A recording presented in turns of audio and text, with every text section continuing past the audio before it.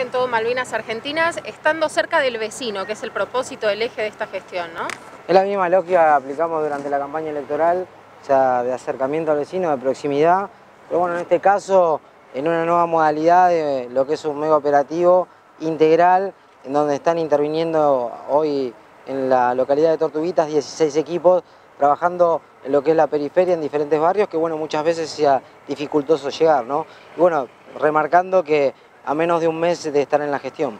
¿Qué es lo que se está haciendo específicamente en estos operativos? Limpieza, desmalezamiento, eh, zanjeo, bueno, eh, arreglando calles y también eh, integral decimos porque interviene lo que es la Subsecretaría de Seguridad, por diferentes problemáticas de la mujer, de juventud, por lo de referido a los temas culturales y también a lo que le interesa a la gente que bueno, nos puede aportar ideas para nosotros poder ir mejorando. ¿no? Escuchar al vecino muchas veces nos sirve para nosotros ir perfeccionando lo que es la gestión cotidiana. Y también, como decíamos, ¿no? que no solamente conozcan al intendente, sino también que conozcan a los funcionarios que son los responsables de las diferentes carteras. ¿Cuáles son los reclamos que escucharon hasta ahora?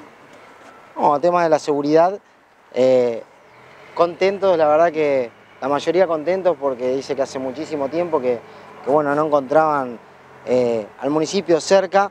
Eh, este programa que nosotros lo denominamos más allá de, ser un abordaje integral, eh, el municipio en tu barrio eh, eh, la verdad que tiene un impacto diferente, en donde se concentra la mayor cantidad de, equipos de, trabajadores para darle una pronta solución a diferentes cosas mínimas que la gente necesita y en continuado se puede llevar adelante bien. Esta semana también se hubo eh, reuniones entre los intendentes e, y mucha injerencia por parte de los intendentes del Frente para la Victoria con respecto a la postura que van a tener los legisladores en la provincia de Buenos Aires en cuanto a la aprobación del presupuesto. ¿Cuál es tu visión al respecto? No, que en realidad ponernos a disposición y sumar ese granito de arena para que en realidad garantizar la gobernabilidad, obviamente dentro de lo que son las reglas claras eh, y esté todo transparentado, eh, cómo se va, eh, cuánto se va a tomar de deuda y en qué se va a ejecutar para todos los municipios de la provincia de Buenos Aires, no solamente para los municipios peronistas, para todos, cómo se va a distribuir y obviamente acompañar para garantizar esa gobernabilidad eh, y bueno, obviamente el gobierno de la provincia de Buenos Aires pueda contar con el presupuesto, ¿no? que es tan importante para todos los habitantes. ¿Cuánto tiempo va a durar este operativo y en qué partes del distrito se va a trabajar? Los operativos integrales, como decía recién, se están haciendo empiezan, empezaron hoy, se van a hacer los jueves, viernes, sábado y domingo. Eh, algo también que estamos pidiendo colaboración y también agradecerles eh, a los empleados municipales que están trabajando, eh, que son los que le están poniendo ganas, los que les hemos pedido esa colaboración y han dicho que sí, le ponen toda la mayor voluntad para que estas cosas se lleven adelante. ¿no? Nosotros siempre pensamos que hay que premiar al que verdaderamente trabaja y la verdad que nos están dando una satisfacción enorme en el acompañamiento que nos están brindando. ¿no? Vamos a seguir recorriendo no solamente como hoy en Tortuguita, sino como lo hicimos durante más de tres años en lo que fue la campaña electoral, de la misma manera, para en realidad que la gente entienda que hay otra impronta, que hay otra forma, y que muchas veces durante la campaña se quejaba que eh, no conocía ni al intendente ni a los funcionarios que había. ¿Estado dar a conocer el estado real en el que encontraron el municipio? Eh, ¿Alguna auditoría o...? vamos haciendo área por área, cosa que no lo pudimos hacer de manera eh, coherente y la verdad que concreta en la transición. Eh, sí lo hicimos sobre salud, no sobre otras áreas. Ejemplo, bueno, con el tema del personal, ¿no? nos, hemos encontrado con eh, casi 9.000 personas en lo que es la órbita del municipio. Bueno, muchas de ellas que no trabajan, que obviamente se le han vencido o están diciendo hoy diferentes medios que nosotros echamos gente y no, no hemos echado a nadie, se le vencieron los plazos de los contratos que había firmado la gestión anterior, que nosotros hemos respetado, que se vencían el 31 de diciembre, obviamente el que trabaja, como no ha pasado recién, con un empleado municipal, eh, que obviamente me dijo, me informaron que eh, se me venció la beca, pero estás trabajando, bueno, bárbaro, pasa por recursos humanos y obviamente vas a seguir de la, continuando con el trabajo normal, ¿no?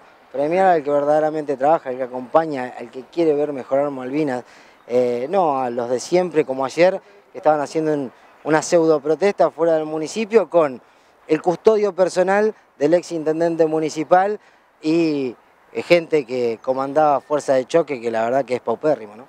Hay veces te vas a comunicar con los, los medios de comunicación, aquellos que estamos en Malvinas Argentinas trabajando. Lo he hecho siempre, lo que pasa es que, bueno, muchas veces algunos no se acercaban, no sé, teniendo un prejuicio sobre mi persona, pero en realidad siempre fui abierto a hablar con, todos.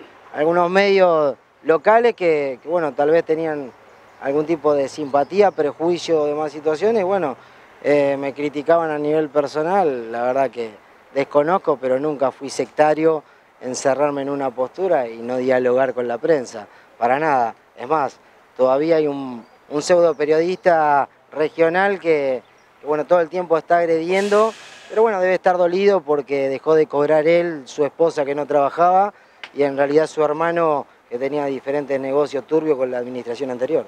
¿Te referís a Sebastián Dumont? Sí, al mismo. Una última pregunta, ¿cuál es el, mensaje que le darías a los vecinos en este 2016 que recién comienza?